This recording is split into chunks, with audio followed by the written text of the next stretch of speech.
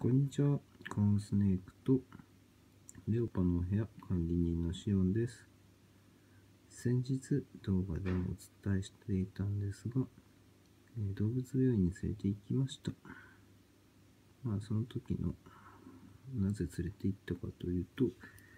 の前はですね、このこちらの左目が全く開いてなかったんですね。で、まあ開かなくなった前日に餌をあげてたんですけども、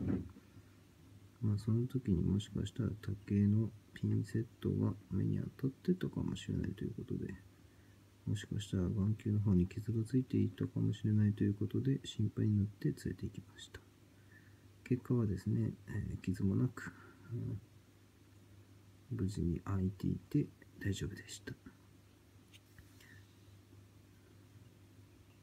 まあ、その時に言われたのが、まあ、脱皮の皮が残っていて左目が開きにくかったんじゃないかということでした。まあ、なので、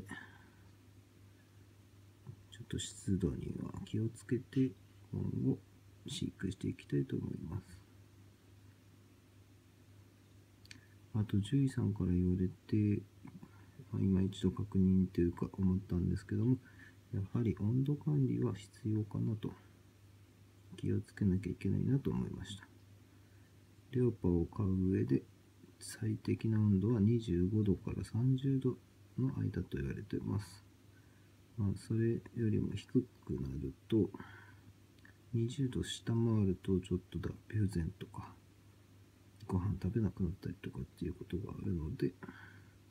まあ、それがないように気をつけていきたいと思います。あと、脱皮不全を起こしやすい理由としては、湿度が足りないということが考えられるので、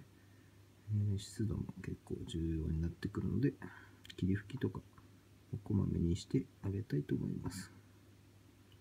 とりあえず、えー傷もなく、失明の可能性もなく、無事でよかったです。それではご報告でした。さようなら。